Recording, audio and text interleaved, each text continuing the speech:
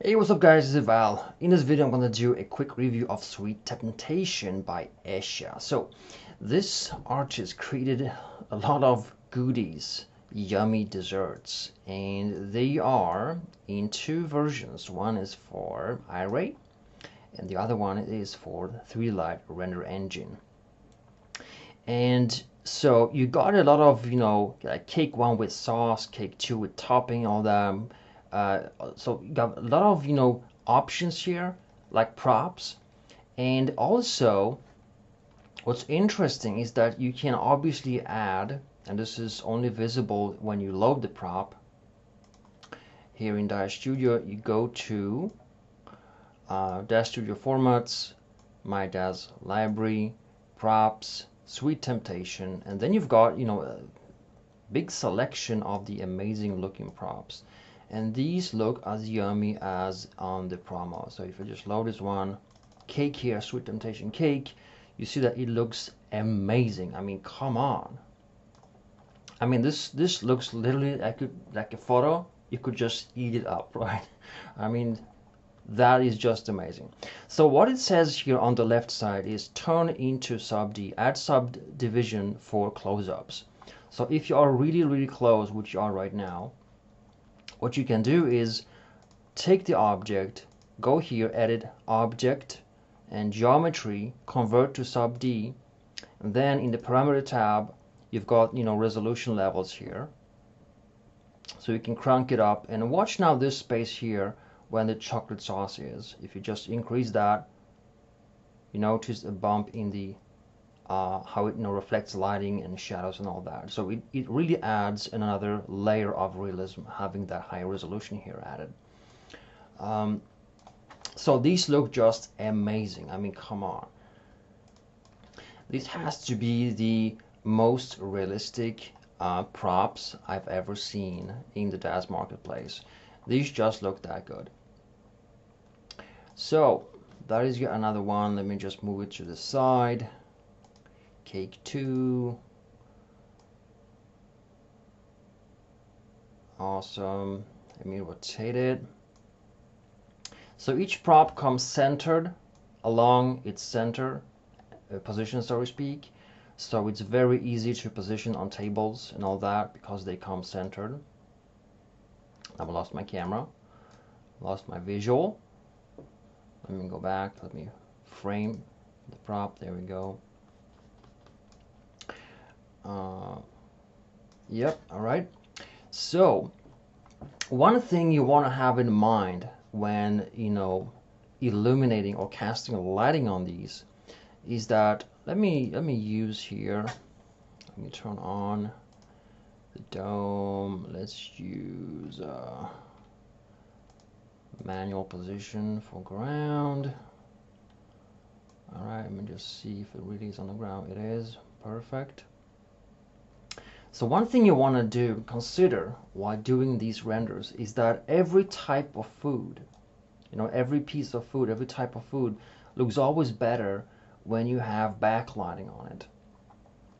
So for instance, if we rotate the dome here in the render settings, just go here into, let's say,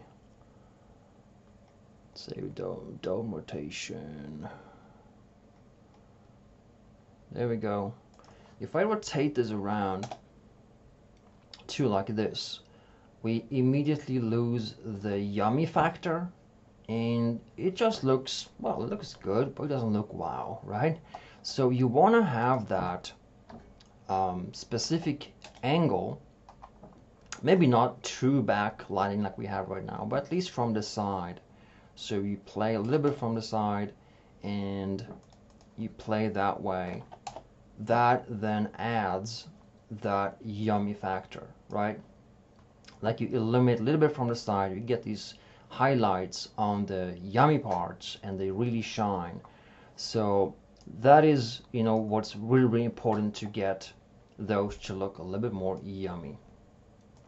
So let me check out the other pieces here. You got some, you know, besides the cakes or whatever you have here. You also have like toppings. You have like strawberries. You can add them on top.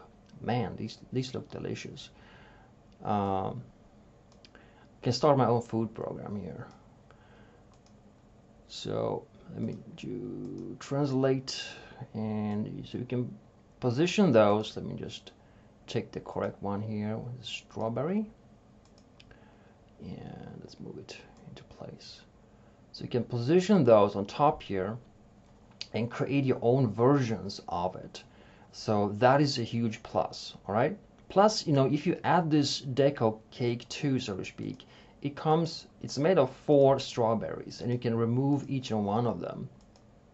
Or you can even individually move them across here. And you know sometimes when when things are added like in this case they are added here on top. You can see this moving or rotation gizmo ain't straight looking.